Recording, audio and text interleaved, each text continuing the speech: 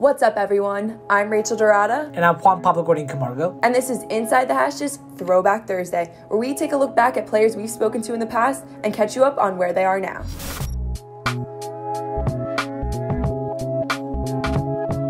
On today's episode, we're throwing it back with Los Angeles Rams linebacker Troy Reeder. Reeder began his college career at Penn State, where in 2015, as a freshman, he started in 11 games, racking up 67 tackles, 5.5 tackles for loss, and an interception. He was named to the 2015 Big Ten Conference All Freshman team at the end of the season. After that strong start with the Nittany Lions, Reeder shockingly transferred out of Penn State to the University of Delaware, fulfilling a lifelong dream of playing on the same college team as his younger brother Colby.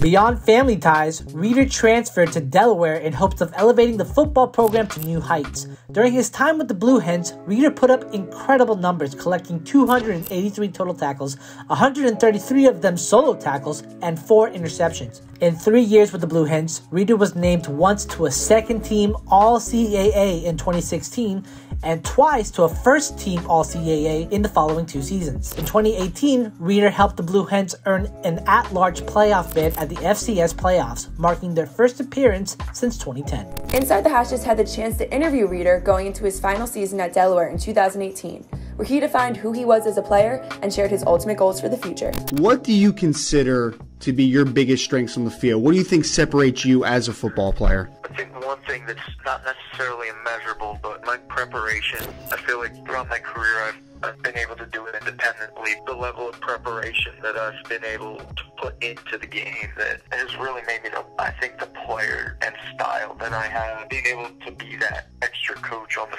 field is, is something I feel like not only makes me a better player, but the players around me.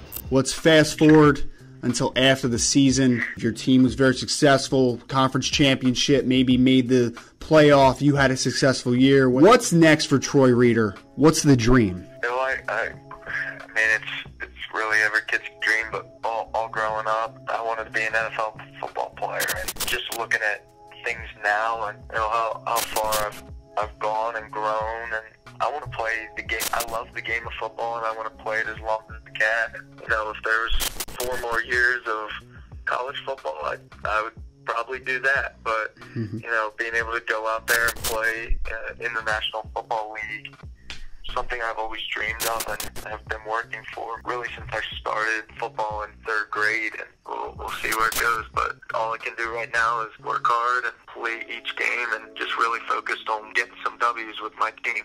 Going undrafted in 2019 didn't deter Reeder from pursuing his dream as a pro player. He signed on with the LA Rams in the 2019 offseason, surviving the final round of cuts to make the 53 man roster. After starting inside linebacker, Bryce Hager went down with a shoulder injury in week 10 against the Pittsburgh Steelers. Reeder stepped into the starting role and never let go. Appearing in all 16 games, Reeder had a strong rookie season, accumulating 52 total tackles and forcing two fumbles. In a close Week 5 loss to the Seattle Seahawks, Reeder was on the field for nearly 75% of defensive snaps, recording a career high 13 tackles. A few weeks into the 2020 season, Reeder has had a quiet start. In the Rams' first three games, he's racked up only two total tackles. Reeder should see an uptick in production in Sunday's game against the 1 3 Washington football team. This has been Inside the Hashes Throwback Thursday. I'm Juan Pablo Guarin Camargo. And I'm Rachel Dorada. We'll see you next time.